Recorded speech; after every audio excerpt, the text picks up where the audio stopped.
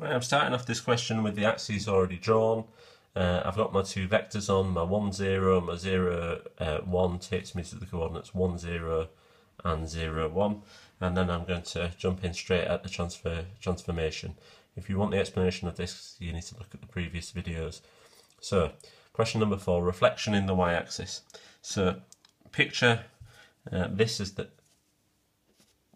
this is the uh, mirror line, this this y-axis. You can picture this line flipping over to here. So rather than this being 1, 0, this becomes negative 1, 0. So this goes over to negative 1, 0. This one, now the y-axis, this is on the y-axis, so if that line line flips, it's just going to be uh, exactly the same. So it is still going to be 0, 1 when we flip it.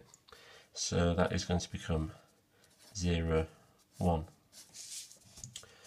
So um, the matrix then is going to be 1, 0.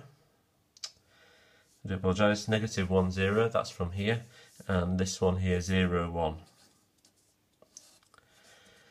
So you can see if this second number is uh, 0, 1, then you can see that nothing happens in that uh, y direction.